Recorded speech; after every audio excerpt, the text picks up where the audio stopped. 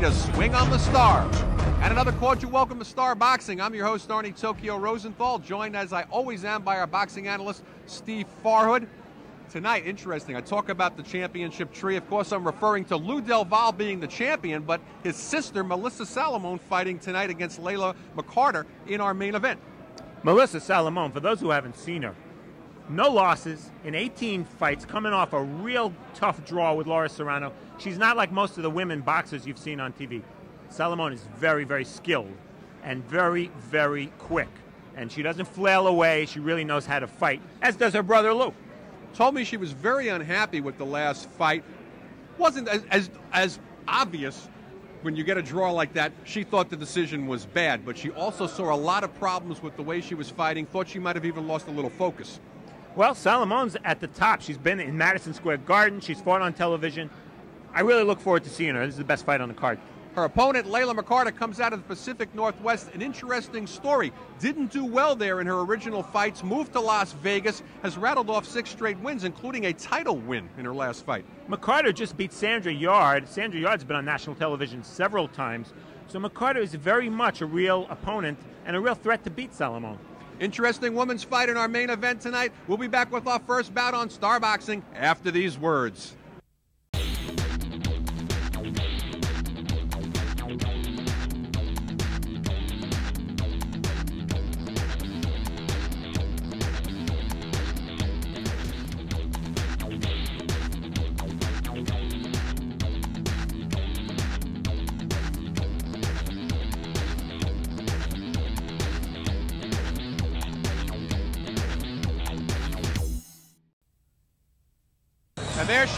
Making a ring walk right now with her IFBA championship belt that she won from Sandra Yard. That's Layla McCarter.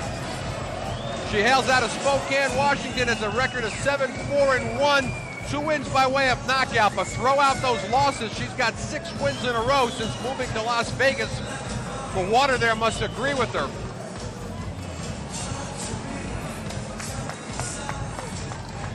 New management, new training.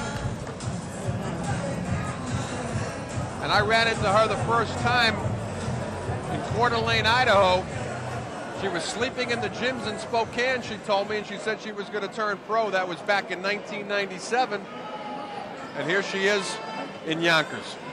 You know, now that you mention that, I think I called one of her fights in Coeur d'Alene. You and did? she knocked a girl out in, uh, in one round.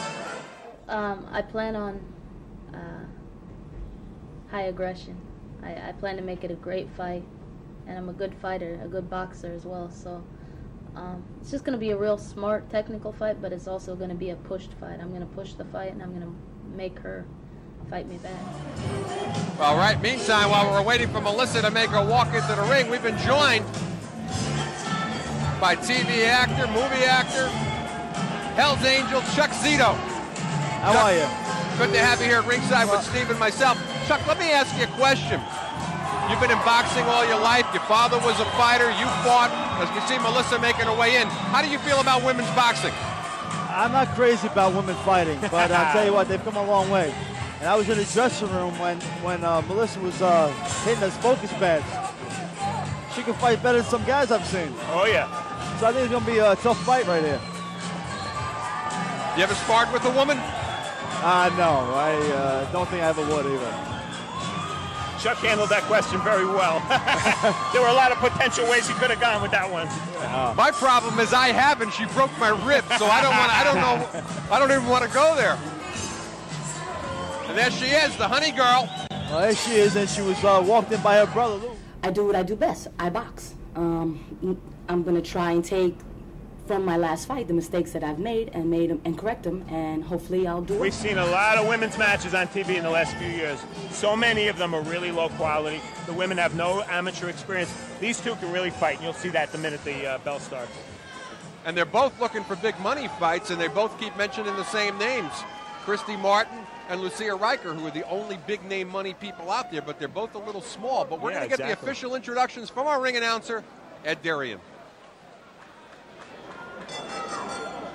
Ladies and gentlemen, from Yonkers Raceway, Joe DeGuardia proudly presents Star Boxing. This bout, ladies and gentlemen, is scheduled for six rounds. That's in the female junior lightweight division. Our judges, Jim Pierce, Steve Weisfeld, and Julie Lederman. In the ring at this time, the man in charge of the scheduled six-round junior lightweight bout, referee Wayne Kelly. And now, my good friends, introducing the principals. First in the red corner, wearing the black trunks. She weighed in at an even 130 pounds. This young lady has seven wins, four losses, one draw with two knockouts. She is the current IFBA World Featherweight Champion. All the way from Las Vegas, Nevada, ladies and gentlemen, let's welcome Layla McCarter. McCarter. And her opponent, ladies and gentlemen, the Puerto Rican princess, the Queen of Queens, New York, one of the best pound for pound fighters in female boxing. They call her Honey Girl. She is the younger sister of Louis Del Valle. Ladies and gentlemen, she's wearing the multicolored trim trunks. She too weighed in 130 pounds. She has 18 wins, no losses, one draw with seven big knockouts. Ladies and gentlemen, here she is, the Princess Honeygirl, Melissa Salamone. Salamone. All right, Layla, Melissa, we're boxing under the rules of the New York State Athletic Commission. I expect a clean fight, obey my commands at all times, protect yourself at all times. Shake hands, come out boxing at the bell, good luck. All right, Wayne Kelly finishes the instructions. Remember, these are two-minute rounds. Female boxing, two-minute rounds, scheduled for six. Spoke to Melissa Salamone about her feelings about Layla McCarter. She says, Layla's a little girl, I'm a woman. To put that into perspective, Salamone 31 and McCarter 21, but right now, didn't look like McCarter showing a lot of respect for the older Salamone.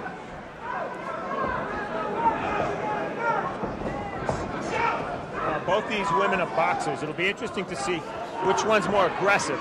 So far, three punches landed for McCarter, none for Salamone.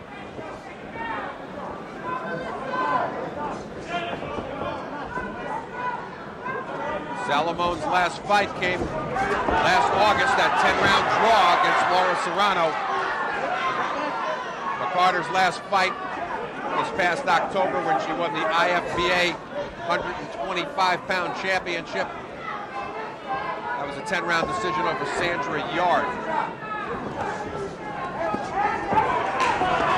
Nice counter left by Salamone. Carter has a habit of dropping that right hand when she throws her left.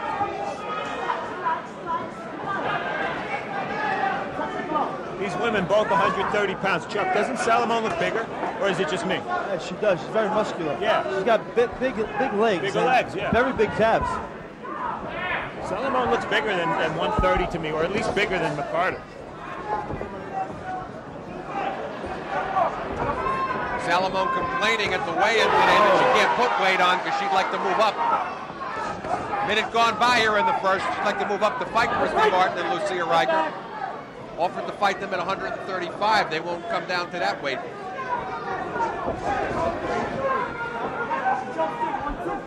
McCarter reaching a little bit. That's going to be dangerous. Reaching with her jab, reaching with her right hand.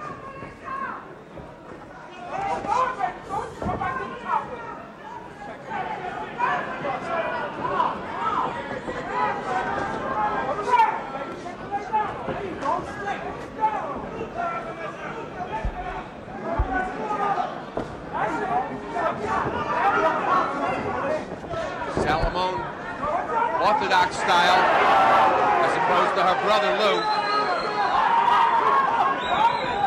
Well-known southpaw, former light heavyweight champion of the world, to put Roy Jones Jr. down on the floor for the only time in his career. This is supposed to be a two-minute round, right? Yes. Is the clock in your head saying this is over two minutes? I don't know. I think, Something's not right yeah, here. I think it's over two minutes, Artie. We don't have a clock on our monitor, but I, I, I think I think they're letting this go three. Well, we're going to have to find out what's going on here if this is a mistake or if New York changed the rules. No, it should be a two-minute round. This is a warning. That Salamone hit it with a nice body shot on the left hook and, and, and slowed McCarter down a little.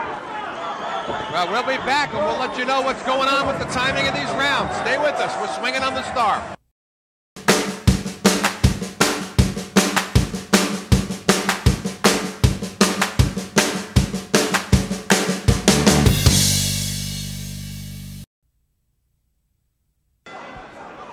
Round number two, and we've got a little bit of a, uh, well, a little craziness going on here. They're supposed to be two-minute rounds. According to our truck, that was a three-minute round. And it's really amazing that the girls didn't notice it, or somebody from the corners. So that's got to get straightened out. We'll see if it gets straightened out at ringside, but you just saw a three-minute women's round here in the first. While we're getting that straightened out, Steve, how'd you see the round? Boy, after a very good start, McCarter really slowed down. I gave it to Salamone. Salamone just hit a Chuck, beautiful how'd you see right the first hand. round? I I uh, thought it was even, but Salamone took the uh, end of the round, and she's being the aggressive this round. Well, Salamone moves really nicely in the ring. See how she moves back out of range and then jumps back into range to punch herself. Definitely the stronger of the two fighters. Well, we got one minute gone by right now. So we're going to see if they've cleaned up their act here on the timekeeping of this fight. Puerto Rican flag shorts, that would be Melissa Salamone. Layla McCarter in solid black. Nobody on the canvas thus far. Close first round. We thought Salamone pulled it out from this vantage point.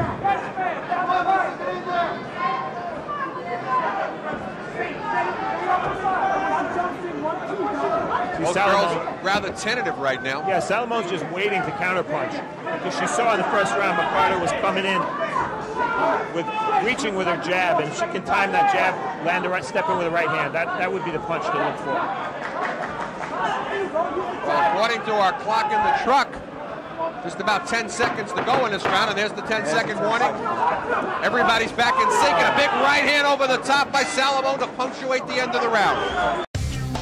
Hey, boxing fans, come out for live boxing. Joe DeGuardia's Star Boxing presents Rockin' Fights. For ticket information, go to starboxing.com or ticketmaster.com. See some of the best young fighters. Star Boxing, Rockin' Fights, it's a knockout. Round number three of a scheduled six round, the women's bout. Melissa Salamone in the Puerto Rican shorts. Layla McCarter, she's in the solid black. Very strangely paced second round, I felt. Nobody's really consistently taking control. And Salamone happy to stay on the outside and just counterpunch. Well, they're both boxers, and somebody has to lead, and they're both waiting for each other to lead. Salamone happy to be back in with the right-handed fighter. He said that a lot of the problems she had with Laura Serrano was no lefty sparring for that fight. Looking at McCarter's record, she's lost to Laura Serrano. She's also lost twice to Margaret McGregor. And if my memory serves correctly, Margaret McGregor is the woman in uh, Seattle who fought a guy and beat her, beat him, the jockey, in the first male-female match ever. Washington State allowed that. One minute gone by in this two-minute round.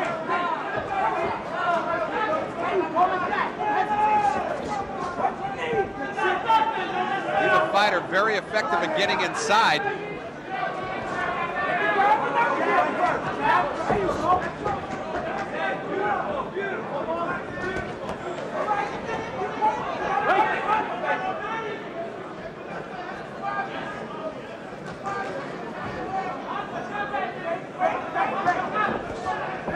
Nice counter right there by McCarter. Not too many Chuck, I- punches landed. Obvious question. You see anything in Melissa that reminds you of Louis? Uh, not offhand, no. What is it? I'm not saying there is anything. I'm not sure. I'm, you know, I, I look for it as well. See if there's anything in the genes that sticks out in terms of boxing style. So we're halfway gone in the sixth rounder. Can't get enough of Joe DeGuardia's Star Boxing? Download the Star Boxing TV app or check out our Roku channel to watch exclusive content and classic fights. Every punch, every knockout, every screen. The Star Boxing TV app gives you exclusive access to every moment of Joe DeGuardia's Star Boxing. Available on Apple, Android, and Roku. Just search Star Boxing to get in the ring. All right, back here on Star Boxing, wondering who that woman is. Well, it's Layla McCarter's mom. Flew in from Spokane, Washington to work her daughter's corner as we start the second half of this sixth rounder. And Steve, I got to tell you, I've got all three rounds from Melissa Salamone, but not big. Right. The rounds that could have gone either way, 30-27 for her. But Layla McCarter certainly still in this fight. Yes, she is. She's not giving Salamone too many opportunities to counterpunch. And I gave, I called the third round even. Well, Chuck saw the first round even, so this fight could be a lot closer than, than the shutout that I have it right now. Wayne Kelly separating the girls. We had an oddity in the first round if you're just joining us. Instead of being a two-minute round, the timekeepers had it wrong. It was the a three-minute round. That's been corrected.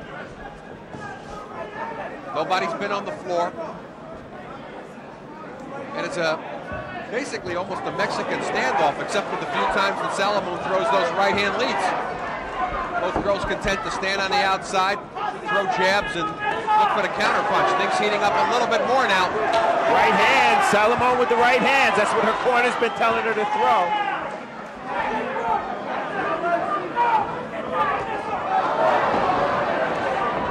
Well, the way she came out of that that handshake and threw the wild right sucker punch, that reminded me a little bit of Lou. The only similarity I see between uh, and her brother, they're both primarily counterpunchers, and Salamone and Del Valle both just seem real comfortable moving in the ring, like, like they know exactly where they want to be. I would like to see what would happen in this fight if Salamone just tried to walk through McCarter, because she does, as Chuck and I were both saying, she does look bigger and stronger. Combination by Salamone, showing her hand speed. Coming towards the end of the fourth here. Most dominant round in the fight thus far from Melissa Salamone.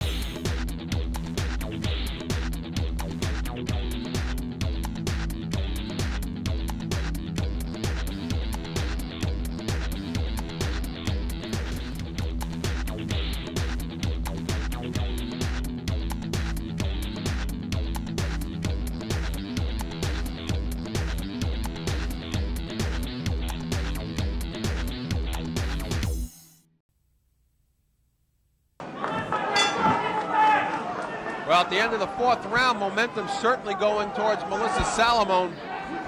Whether she can keep it up here in the fifth or not, we'll have to see.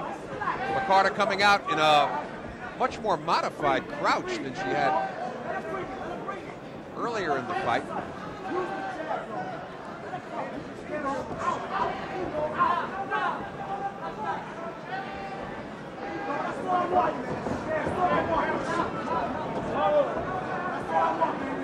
Know it's just not her style. It's probably not what she's comfortable doing. I still think Salamone should just try to walk through McCarter.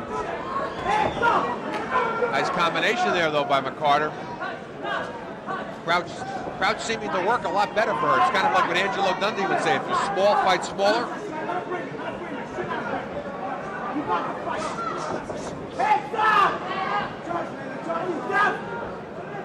Carter landing much better here in the fifth. First minute for her.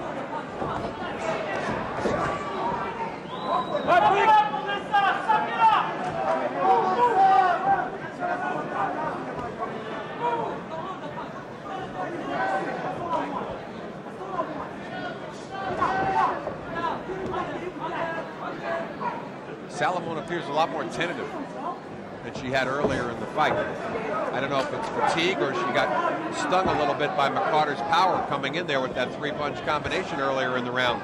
Nice butt there. Seems that McCarter's uh, settled down a little instead of throwing those wild punches. She's picking her shots now. She seems much more in her game plan. But she unofficially could be way behind in this fight. Certainly needs these last two rounds if she has any chance of pulling the fight out. Not much happened in this round. No, but certainly the best round of the fight from McCarter. Can't get enough of Joe DeGuardia's Star Boxing? Download the Star Boxing TV app or check out our Roku channel to watch exclusive content and classic fights. Every punch, every knockout, every screen. The Star Boxing TV app gives you exclusive access to every moment of Joe DeGuardia's Star Boxing. Available on Apple, Android, and Roku. Just search Star Boxing to get in the ring. Sixth and final round, women, Layla McCarter, 21 years old from Spokane, Washington, also the IFBA World Champion. She's in the solid back. Melissa Salamone, 18-0-1 coming in tonight. She's 31 years old. Originally out of Queens, New York, now residing down in South Beach in Miami.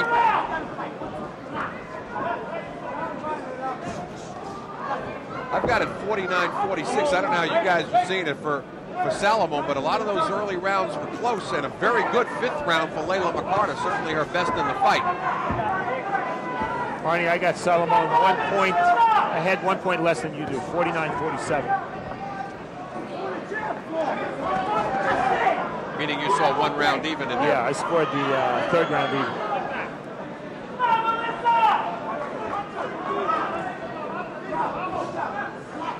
Chuck, any updated impressions on women's boxing? I still don't like it. I still don't like watching it. Makes you squeamish? I don't know. It's just, uh, I thought they, they, they actually have women's boxing, but times change. I feel the winner of this this round will win the fight. Might very well be the case right now, and right now Melissa Salamone very passive. And Layla McCarter scoring in spurts. Really, already neither fighter showing much of a sense of urgency. You know, it's only a six-round fight.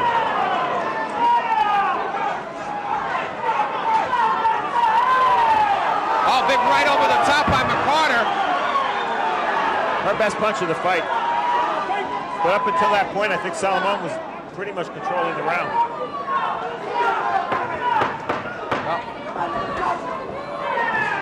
Coming to the end of the round, was it enough? Did McCarter do enough to pull out the round?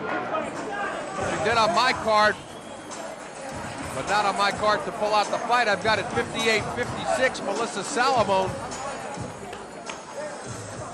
A lot of 59, early 56 rounds. here on. You gave the last round then, Steve, to Melissa Salamone. Well, we're going to see how the judges see it here. Keep in mind, we are in New York. We're in the backyard of Melissa Salamone. Layla McCarter coming in from Las Vegas by way of Spokane, Washington. Brought her mom with her tonight. Melissa brought her brother, Louis Del Valle. Melissa also trained by veteran trainer Norm Wilson. Might remember him from the trainer of lightweight contender George Scott. Ed Derian, he's the man with all the numbers. I see him comparing notes right now with our referee Wayne Kelly. We're going to go up with Ed. He's got the official decision.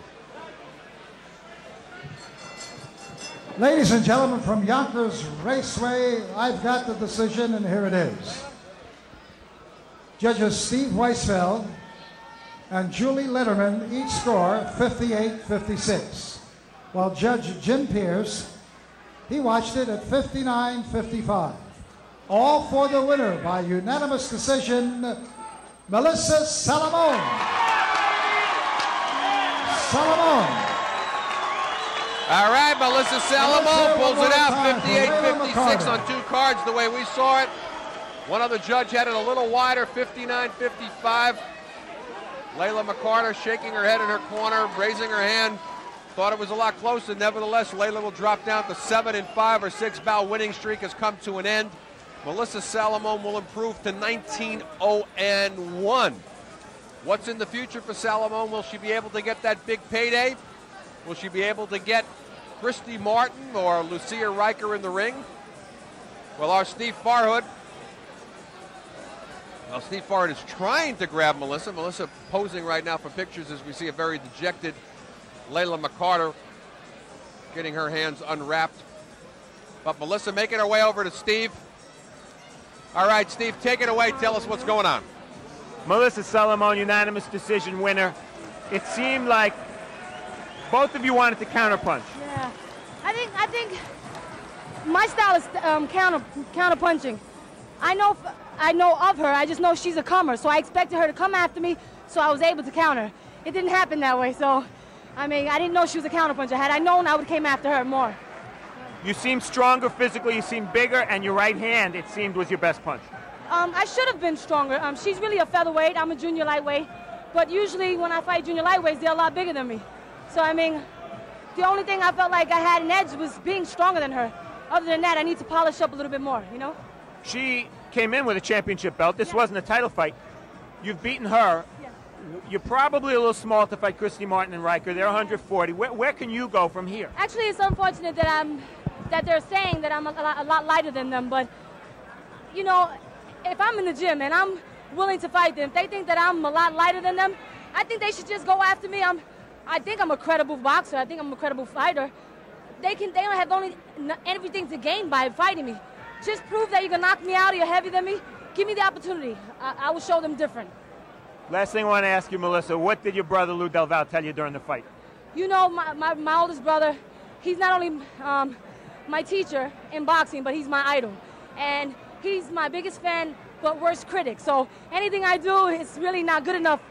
So I have to, each and every time I'm fighting in front of him, I have to rise to the occasion. And it puts a little pressure on me. So, you know, that's what you saw here tonight. I had a seven month layoff and I didn't fight the way I was supposed to fight. And I just, you know, I want to do better, but I have to know that there's going to be a promoter out there that's going to fight me, you know, often enough. So. Well done, Melissa Salamone. Still undefeated, one of the few women in women's boxing who really does know how to fight. Arnie, back to you. All right, thank you, Steve, and thank you, Melissa. Yes, she does know how to fight, and once again, improving to 19 0 and 1. Would like to stay more active.